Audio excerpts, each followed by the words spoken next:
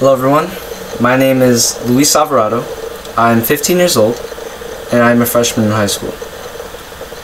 Now, today I'm going to be reciting Invictus by William Ernest Henley. And the funny part is, I had huge plans. I was going to have special effects. I was going to dress up in a suit. I was going to have music. It was going to be great. But then it hit me that that's not what it's about. It's not that's not the purpose of the poem.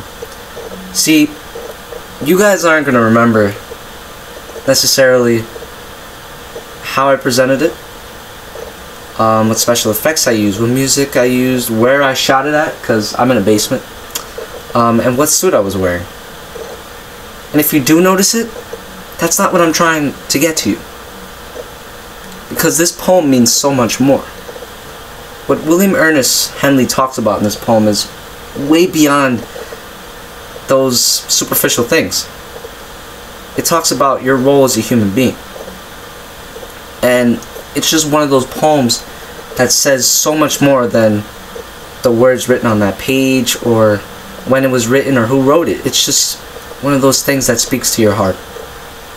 And this poem means the world to me. I, I read it every morning and it's one of those things that just helps you get through the day.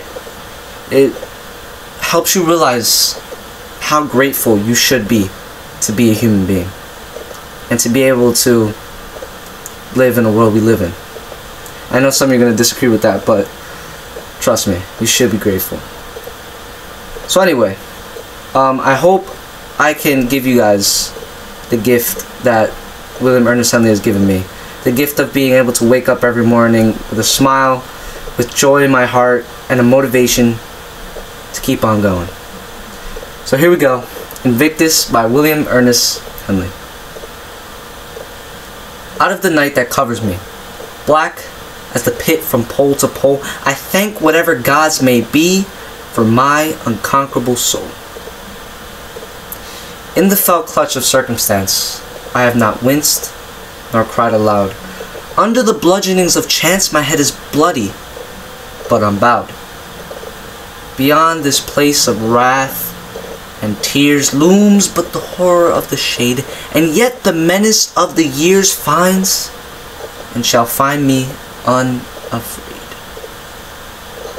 It matters not how straight the gate, how charged with punishments the scroll. I am the master of my fate.